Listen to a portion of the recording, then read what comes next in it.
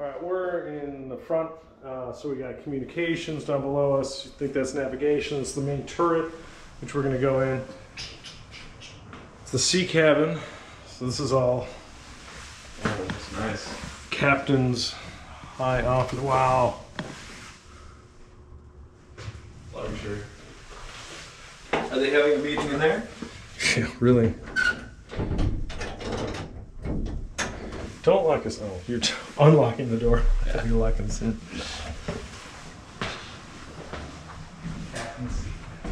I'm going in the turret. I mean, look at how thick this. Look at how thick this is. With an eye.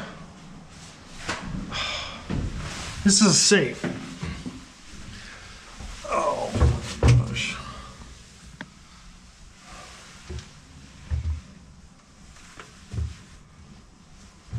Holy cow.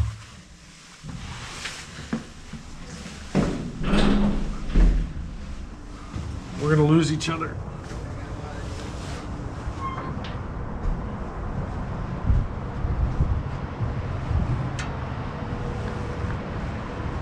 Oh, here's the bridge. And it's locked. Well, that isn't. What is that thing?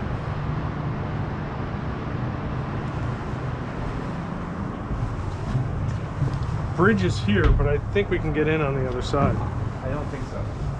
Oh, okay. Did you see the glass?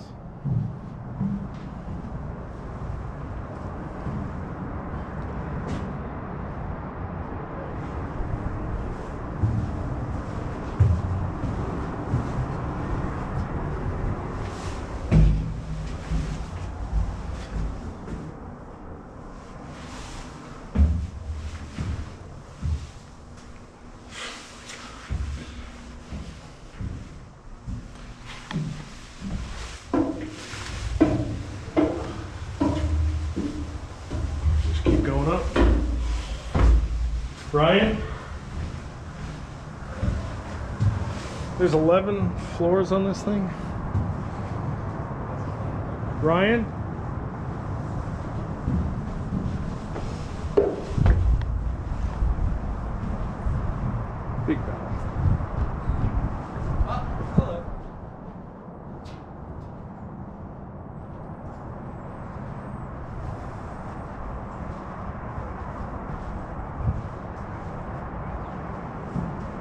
The views get better as we go.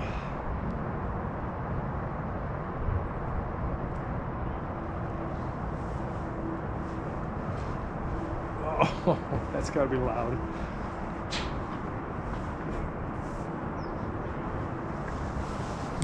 All right, we're at the very top and it's fenced off. So we're to show you what is not available. What the next floor is.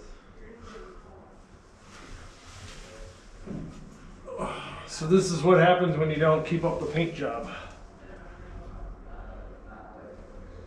Oh my God. It's been a long time since that lock has been loosened. Oh. I, I was looking at the lock saying it's a long time since it's been loosened. Yeah. Oh, They don't lock them anymore. That's tempting. Well, they got to get up there somehow. Not you, them. All right, we're down below now. And it's just even more fascinating than above. This is crew quarters. So if you don't like closed quarters, close quarters, holy You wouldn't like crew quarters. you would not like crew quarters. Uh, here's this, the galley. Oh, this is the officer's galley. A little deep fryer. All right. A little cheap, cheap plate. Now we saw the like uh, the film area, the mechanics, communication, uh, and the bunks are in the room. So if you're, oh. If you're in the shop, wood shop, you're sleeping right above the wood desk or the you know work table. You and eight other people who are in the workshop. See if we got some more bunks over here. No, this is just storage.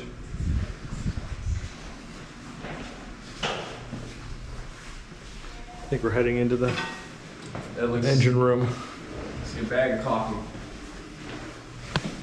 Oh, it's the officer's dining. Some cards and poker. Nice.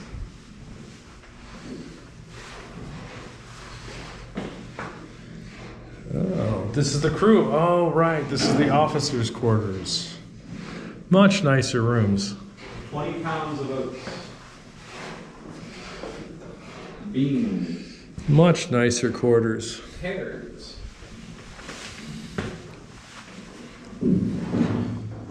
Must have been lieutenants. Pinups. Two in a room.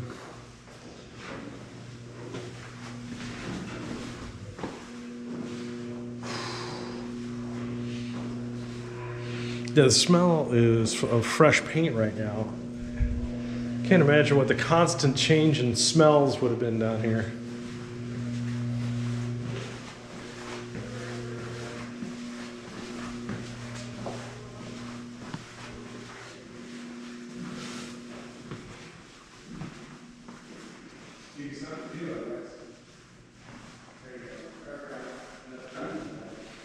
Oh, just bunks everywhere.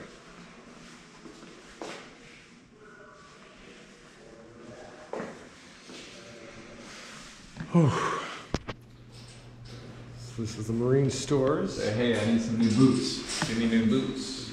gun racks, the pressing room, and mind you, the cotton's in here. So if you're that guy, or the sewing room, tailor shop, you slept above your above your work.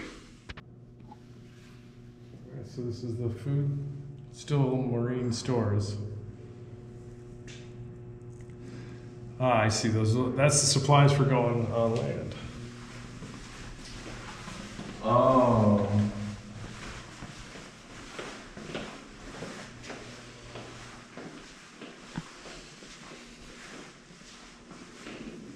Okay, I don't got much there.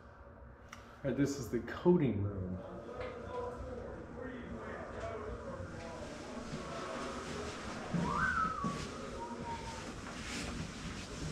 Tokyo Rose. Oh. X-ray darkroom. Oof. Where the X-rays are. That's And, crazy. and photos. Yeah. Oh man. Yeah, you know those X-rays were healthy. Oh yeah. Yeah. Oh, here's the dentistry. Oh. Oh, they got two tables in there for the dentist. Oh, the isolation ward. Oh, What's right. That's for pandemics. Boy, that must have been fun to get into the isolation ward. Talk about seasickness in there.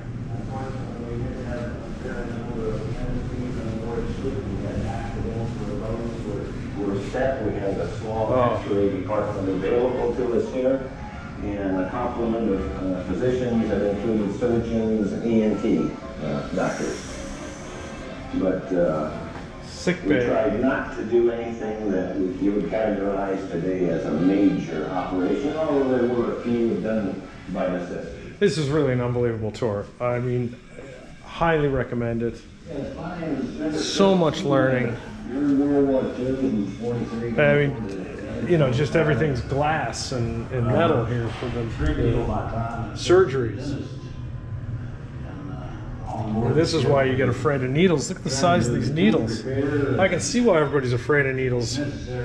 Previous generations. These are not micro needles. Those are big, fat, painful needles. And all the IVs are glass. This is the sick bay. Uh, you know, we got a bone saw just standing right here. Oh. Yeah, so if you're, this is sick bay, right? You just had a battle. I see 10, 12 cots, and there's 2,500 men. How can this possibly have been enough? Not modern dentist office today that it served the purpose in the two dentists we had at. So here's the biolab. And we got a dispensary. Clerical office. doctor's office. Ugh, typewriters everywhere. He's just got a textbook. He's Learning from. What's up, guys? We are finishing our self-guided tour at the USS Alabama. It's taken us three hours to get through most everything. And Uh, we haven't even like we, we only did two of the three tours. two of the, I think this is the third. No, we didn't do the the, the all the crew stuff. This is the front of the ship. We didn't do the back of the ship. Back bottom. Yeah. Oh, okay. There's just a ton of stuff here, and the placards were really just flying by too. But uh, it's been incredible. This is an amazing place. Highly recommend coming here if you have a couple hours. That's not a good sound. we gotta get out of here.